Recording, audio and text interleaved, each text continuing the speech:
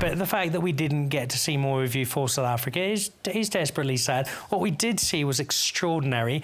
Uh, when you look back on it, you'd obviously love to have played more tests, but uh, the fact that you at least did get in those four games for South Africa and you were absolutely amazing in them. I think you averaged 70 odds, scored more than 500 as you guys beat Bill Lawry's Australians 4 0. Uh, the one series you did get was a pretty special one.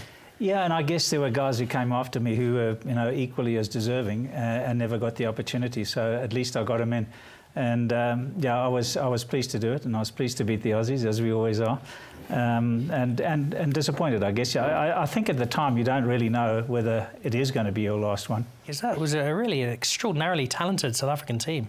It was. I mean, you, know, you had Graeme Pollock and Mike Procter and Eddie Barlow, so you know, a lot of guys who could bat and bowl, and I think that was the, the, the beauty of that side. We always had somebody who could do something, and that, uh, they would probably got in the side either way.